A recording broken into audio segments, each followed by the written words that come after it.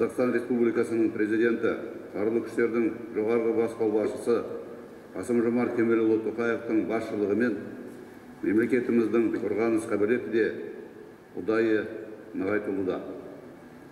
Бүгінгі күні қуатты да ұтқыр армия еліміздің кез келген бағытындағы қорғаныс қалқаны болып табылады.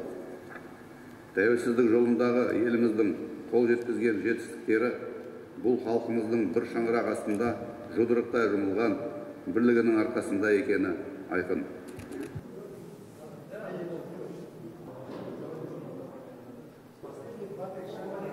подполковник Сергей Семенович Ведерников.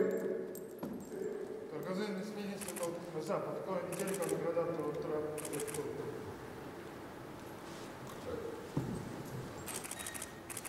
Казахстан Республика Земель, Земель, Земель.